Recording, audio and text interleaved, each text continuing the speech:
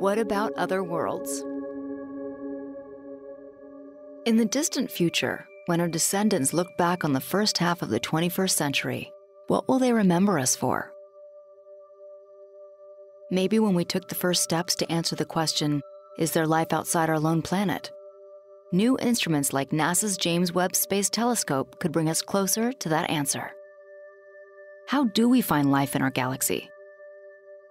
First, we need to identify planets with the potential to host life. We've been working towards this goal for the last 20 years. Now, the science of planets around other stars, or exoplanets, has grown from science fiction to reality. Before 1995, we only knew the planets in our own solar system. Now we know of several thousand planets and are likely to discover thousands more.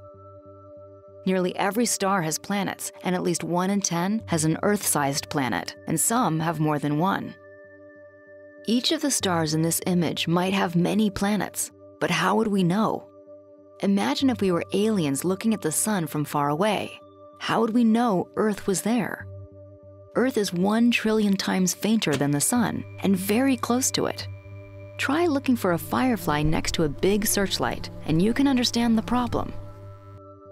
Some planets are found by a technique that uses Einstein's theory of general relativity, observing the bending effect of gravity from a hidden planet as it warps the light around its host star. The most common method is to look for an eclipse or transit as a planet passes in front of its host star.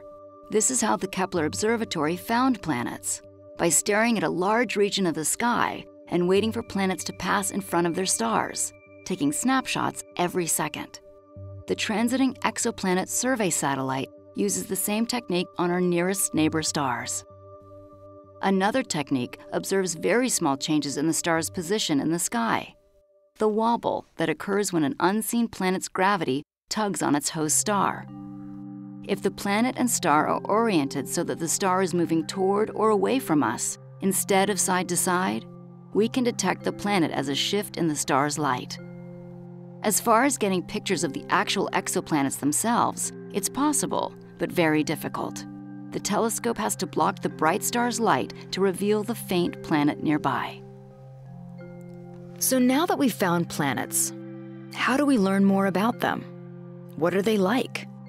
Would we want to go there?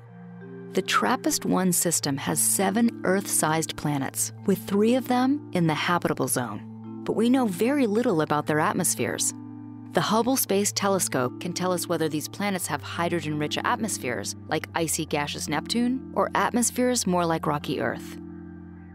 To measure the planet's composition and atmosphere, we need to use a technique called spectroscopy. Astronomers use spectroscopy to sort light into its very specific components, since different chemicals and dust particles give off different telltale fingerprints.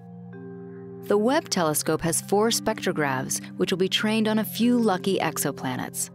We'll learn about the atmospheres of these planets by seeing their fingerprints as a shadow against their bright host star, in a similar way to the transit technique. Life changed the atmosphere of our Earth over time, increasing the oxygen and decreasing the methane. By taking a virtual sample of the atmosphere of these exoplanets, we can look for evidence of carbon dioxide, water vapor, and methane, signs of life as we know it. With Webb, we can scan for evidence of biological processes trillions of miles from Earth. So, are we alone? Webb and future missions may finally help us answer this question.